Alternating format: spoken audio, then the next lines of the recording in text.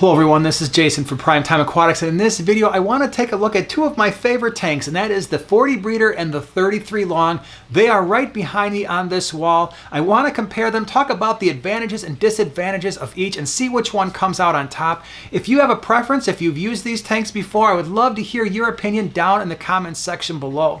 So when it comes to both of these tanks, they are both awesome. A lot of times when I do a comparison, I really like one over the other, but in this particular case, I love them both for slightly different reasons. Now let's talk about some of the details. Our 40 gallon breeder. You're getting something that is 36 inches long by about 18 and a half inches wide and about 17 inches tall. So this is a great size tank. Now the 33 long is a little bit different in that you're getting a four foot tank. So it's about 48 to 48 and a half inches long. It's only 12 and a half to 12 and three quarter inches wide. And when it comes to the height, it's only about 13 and a quarter to 13 and a half inches tall. And again, I'm giving you a little bit of a range because it depends on the manufacturer, but that 33 long is roughly the same length and width as a 55 gallon, it's just shorter, which can provide a lot of advantages as we're gonna talk about here in a few minutes. Before we go on, I actually did a video about how there is more to a tank size than just its volume. I'm gonna put that in the upper right hand corner as well as in the description below. It goes into a lot more detail about some of the things we're gonna talk about here, but definitely something to consider watching. Now, when it comes to the 40 breeder, I really like the overall size. And what's interesting is when you start doing the calculations, when you look at the footprint of the tank, even though it's only a three foot tank, it has more of a footprint, more surface area on the bottom than our 33 long and even a 55 gallon given that they're both the same length and width. So we're looking at roughly around 660 square inches for the 40 breeder. When it comes to the 33 long and even a 55 gallon for that matter, the footprint is smaller. When you when you multiply the length times the width, you're only getting around 618 to 620 square inches. So the 40 breeder is going to give you a little bit more space on the bottom.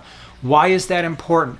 For those of you who are keeping cichlids, the more area that you have on the bottom of the tank, often the less problems you're going to have. You're going to have more space for each of the fish to call their own. Now the 33 gallon long does have some advantages as well. It has that extra foot in length and that means if you're keeping fish that are schooling fish or they're really active, like maybe you've got some tetras or for us we've got Cyprichromis leptosoma. Now they're in a 40 gallon but they'd probably do even better in a four foot tank where they have a little bit more swimming space. So there's an advantage to having that extra foot in length. Now something else you may want to consider when it comes to aqua aquascaping your tanks, you're gonna have a little bit more options when it comes to the 40 gallon breeder.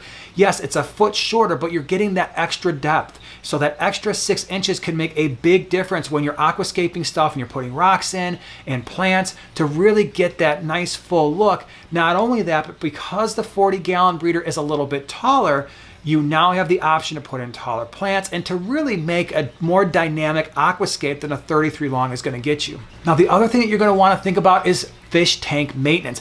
Both of these tanks are relatively easy to maintain, but I would say I would give the advantage to the 33 long because it is shorter. And the shorter the tank is, the easier it's gonna be to maintain. So whether that's scraping algae or planting plants or doing gravel vac or just getting in there and doing some rearranging, the shorter the tank, the easier it's going to be. So I would give the advantage to the 33 long in that respect. Now for us, we have some special considerations when it comes to how we choose our fish tank sizes.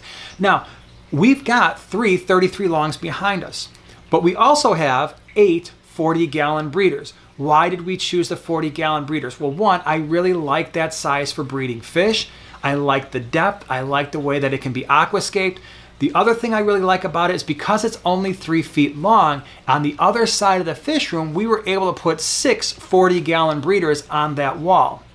Now, when it comes to the 33 long, it's shorter. The advantage for us is that you can stack those tanks a little bit higher. Now, I, again, I recognize for a lot of you, this may not be an overwhelming type of consideration you have to make, but for us it is. And I like the fact behind me that we can stack the 33 longs three high instead of two like the 40 gallon breeders. However, when you're looking at overall wall space, this is something you might want to consider if you have a if you're not in a fish room, you just have a house where you want to put a fish tank.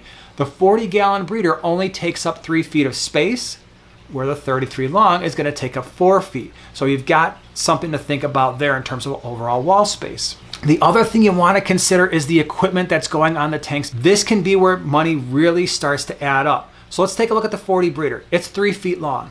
What that means for us is on the eight tanks that we have, only two of them have multiple filters, and they're really just there in case we need to take that cycled sponge filter and put it into a new tank. But in my opinion, the 40 breeders, because they're only three feet, you could still easily get away with one filter, whether that's a hang in the back filter or a sponge filter. And either way, I feel very comfortable with just one filter. Now with the 33 longs, we're dealing with a four foot tank, so when it comes to filtration, I really like to have two types of filtration on a four foot tank. Whether that's two smaller hang on the back filters or two sponge filters, that four foot length, if you only have a filter on one end of the tank, the other side is going to have dead spots. There's going to be spots where detritus accumulates, where there's not a lot of water flow. As a result, you may even have more algae. So in my opinion, with a four foot tank, it's really important to have proper water flow and make sure that I've got filtration on either side of the tank. So for filtration, it might actually be more expensive to filter the 33 long compared to the 40 breeder. That being said, you are going to save significant amounts of money with a 33 long in other aspects when it comes to equipment. One, I've already mentioned the 33 long is the same length and width as a 55 gallon. That's huge because when it comes to fish tank lids, anything that fits on a 55 can go on a 33 long. And what's nice is if you have a 20 gallon tank, that's basically half the length of a 55 or a 33. So those lids fit very nicely. So the lids are super easy to find. The other thing to consider is the stand it's going to be much, much easier to find a stand that will fit a 33 long compared to a 40 breeder. Yes, there are lots of stands out there for 40 breeders, but they actually tend to be more money because it's a more unusual size. You've got a 3 foot by 18 inch stand that's not as common as a 55 gallon, which is one of the most common tanks out there. So the stands are going to be easy to find and they will fit your 33 long just fine. Now, another thing to consider is the lights. Now, it's always more expensive to get a 4 foot light compared to a 3 foot light.